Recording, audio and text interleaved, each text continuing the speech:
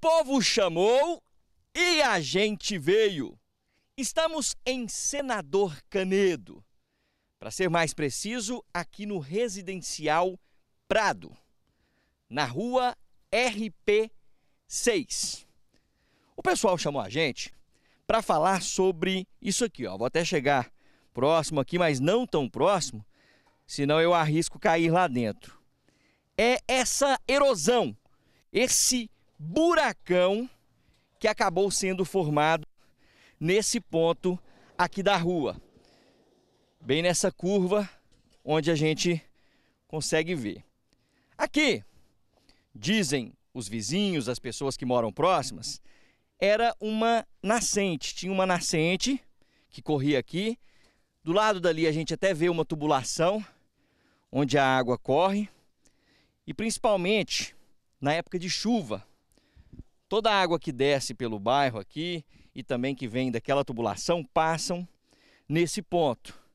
E com isso, muita água, água forte, vai só abrindo cada vez mais. O pessoal chamou porque estão preocupados com essa situação, com o buraco já invadindo inclusive as casas que ficam aqui do lado.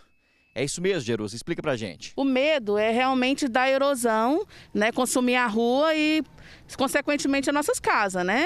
Que com o tempo, com o fluxo de chuva, com o lixo, o problema está só agravando mais, entendeu? Com o bicho morto, né? Você mora aqui há quanto tempo? Há 10 anos.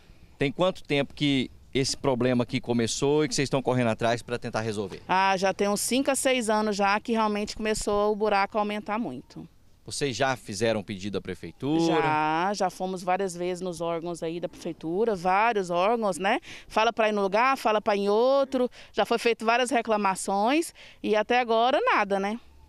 E aqui, além dessa preocupação, vamos tentar passar. Aqui a gente vê que foi colocado aqui o um cimento mais uma grosso. plataforma aqui de cimento, mas aqui já tá foi tudo embora.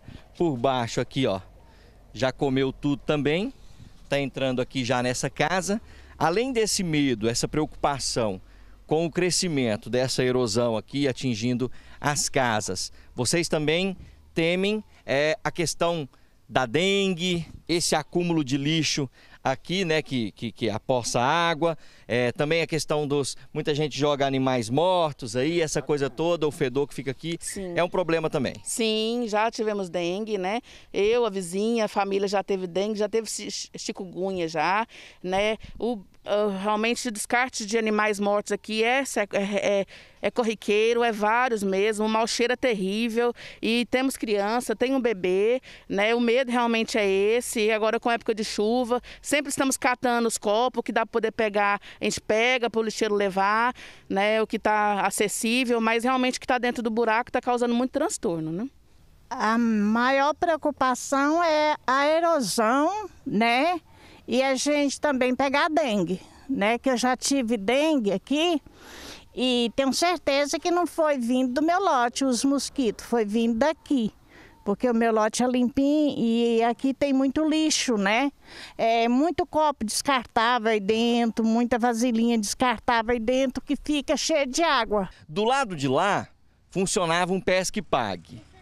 Agora a, a área é de responsabilidade da prefeitura. Ó, a gente não sabe nem de informar direito quem que é o responsável por isso aí, porque nós já ligamos várias vezes na AMA e não tivemos resposta. Quando eu mudei para cá, já estava assim, e tá com a chuva, vai para dentro a dentro. O senhor Aloysio convidou a gente para entrar aqui na serralheria dele, que fica bem ao lado da erosão, inclusive a erosão já está passando aqui pro lado do lote dele, a gente consegue olhar de lá, ó, aqui do lado de dentro, dá para ver bem, o muro ali rachou-se todinho, já está todo torto, quase caindo aqui para o lado de dentro. Aqui também a gente já consegue ver as rachaduras no portão. E aí, provavelmente, olha só, as rachaduras aqui no chão. Provavelmente isso acontece porque o buraco já está se ampliando por baixo. Fica aqui essa, essa casca por cima e o buraco vai aumentando aqui pelo lado de baixo. O pessoal chamou, a gente veio, mostrou o problema e agora cobra a solução.